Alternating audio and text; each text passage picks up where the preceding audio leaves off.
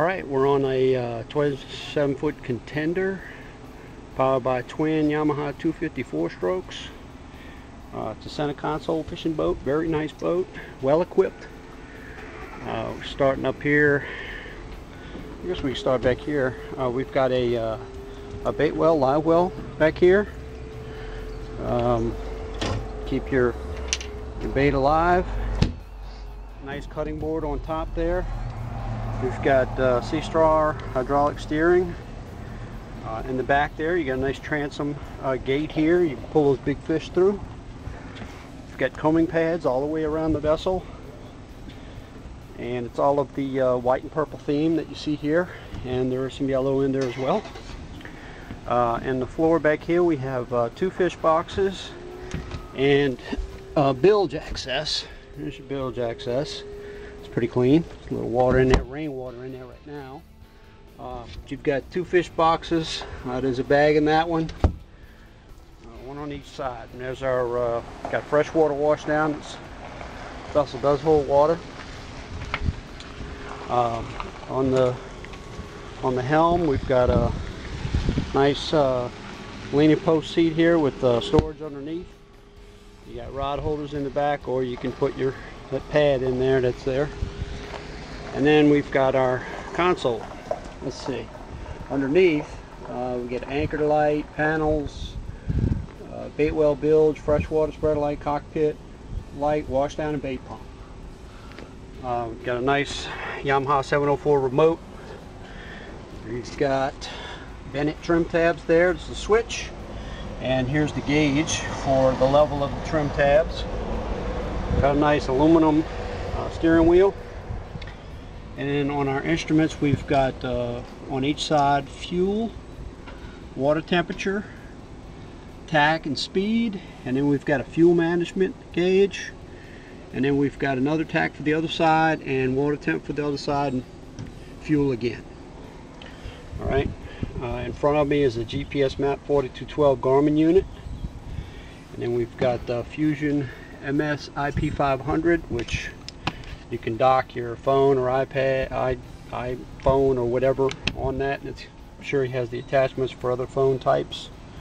Uh, we've got the ICOM uh, handheld commander unit right there.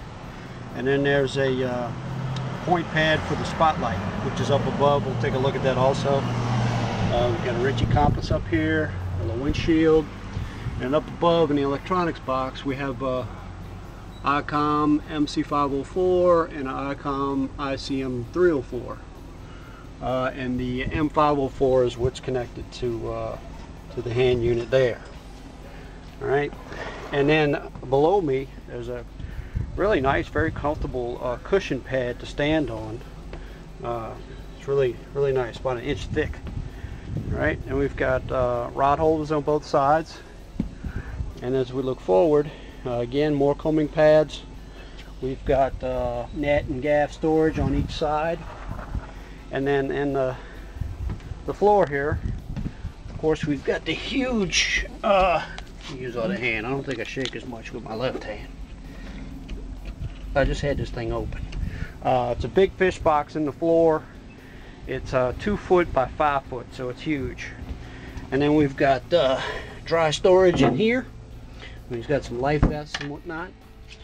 And then uh, on each side of that, we have uh, another storage compartment, which he has uh, gear in as well.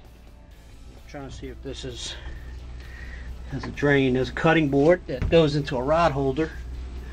So I don't know if this uh, this probably isn't insulated, but it might be. I'll check with him.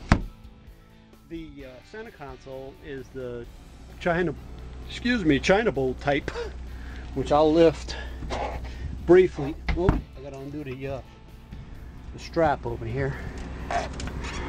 There's your plug for the uh, battery charger.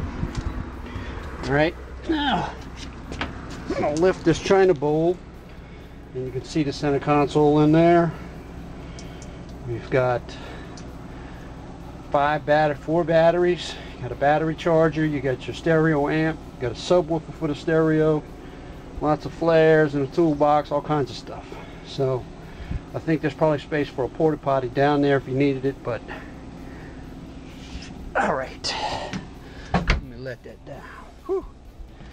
All right, now up front, we've got a anchor locker here, which is kind of shallow, which allows for a storage locker underneath, uh, which is kind of nice. Looks like somebody added that. But they got fenders in there. See the speakers all the way around. So you've got four big 6x9 speakers and uh, and the bass tube. All right, so we're gonna step up top.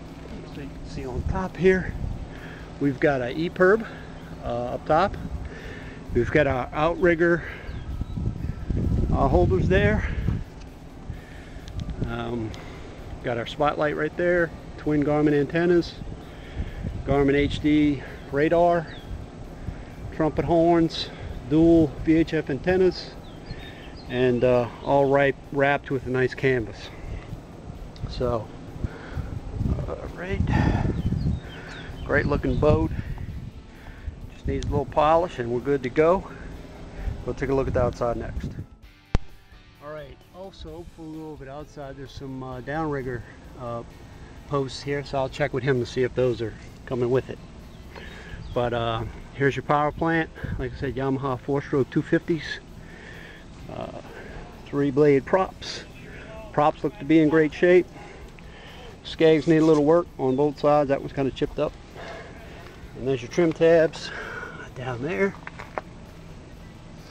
Transducer. And a nice all aluminum trailer. Let's see.